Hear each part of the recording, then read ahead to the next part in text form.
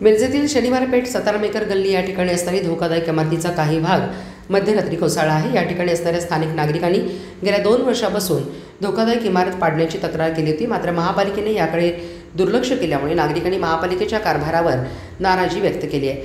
या ठिकाणी मध्यरात्री इमारतीचा काही भाग कोसळला मात्र या ठिकाणी कोणी नसल्यामुळे मोठा अनर्थ टळला. याबाबत महापालिका प्रशासनाने तातडीने उपाययोजना कराव्यात अशी मागणी स्थानिक नागरिकांनी केली.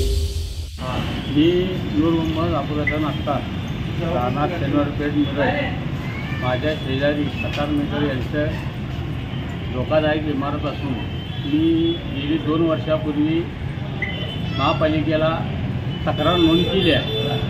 परंतु काल रात्री ती इमारत डाव्या बाजूची इमारत त्यांची कोसळली आहे. आम्हाला पण आमच्या बाजूची पण भिंत आहे ती धोकादायक आहे. आणि आम्हाला त्याचा जीवितात धोका आहे. आणि महापालिकेने गेली दोन वर्ष अर्ज देऊनसुद्धा तक्रार देऊनसुद्धा त्याची काय हे केली नाही. चौकशीवर काही कारवाई केली नाही. काय?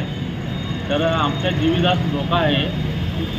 तरी महापालिकेने याचा यांच्यावर योग्य ती कारवाई करावी.